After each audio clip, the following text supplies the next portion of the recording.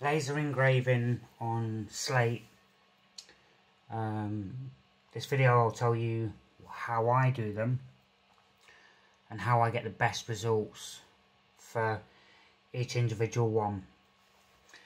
Now first off, obviously you start with your slate. Your slate's going to look obviously like this. Now this is just an engraving on plain slate. Obviously there's nothing, nothing been done to it. Obviously you can see it's not that clear. Um, and you obviously you've got your scuff marks. It scuffs dead easy. So this is just bare, bare slate. And then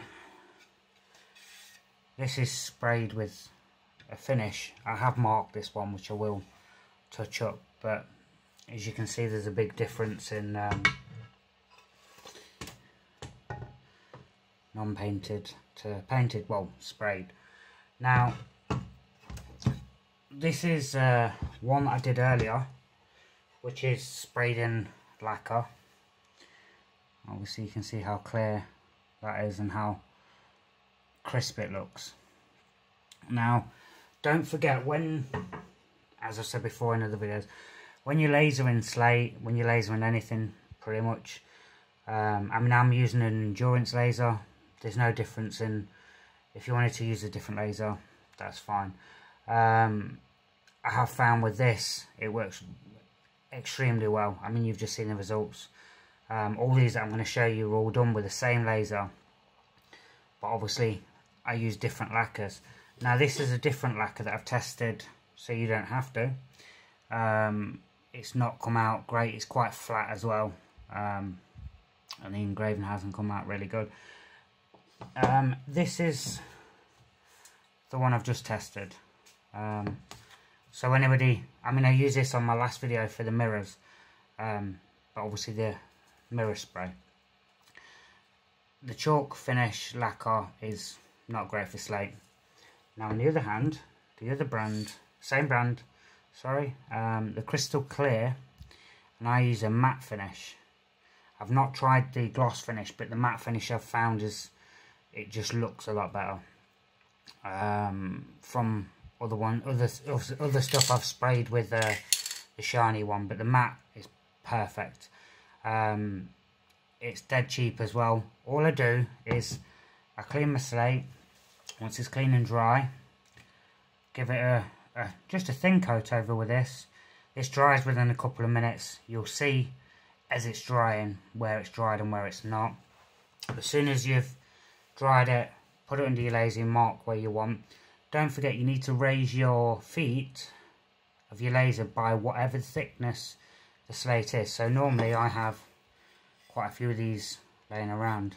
Um, so I'll put one under each foot before I put this under and then obviously I'll chuck this under and, and laser but as you can see from the results um, from finished with matte and then obviously lasered over the top after I've sprayed it um, you get really really good results versus no spray which obviously a lot of people have been trying to do trying to get the end result like I have been doing but obviously are a bit confused on how to do it. So that is literally a little tip, hack, however you want to call it. So, but this sell this in, uh, if you live in the UK, Wilko's, um, B&Q. B&Q normally have it 90% of the time, it's about £11 a can. Um, but I always go for the clear, you can try the gloss by all means, but I just find the mattes, the mattes the better finish. Then obviously you've got the other one which is the chalk based lacquer um, which is matte finish again but it's it doesn't give it that crisp crisp finish. So uh, any questions um, feel free to ask or if you've got another tip that how you do it feel free to post or message me your, your link to your video if you if you've got one and uh, I'll check that out. Um, don't forget at the end of this video as well as always, um, if you read the description, you'll see a link to Endurance Lasers website. With that link, you get $50 off.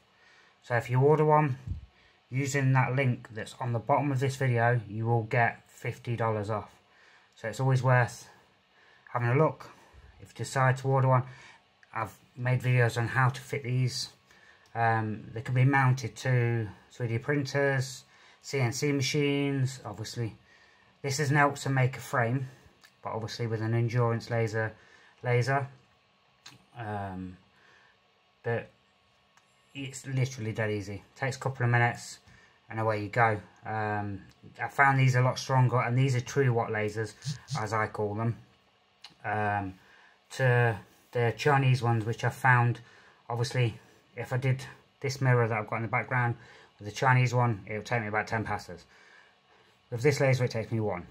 Um, and this is actually a lower watt laser than what I had previously um, so obviously I know this is a true watt to what it says on the, the label. So any of the questions or anything, the group will be on the bottom of the video as well.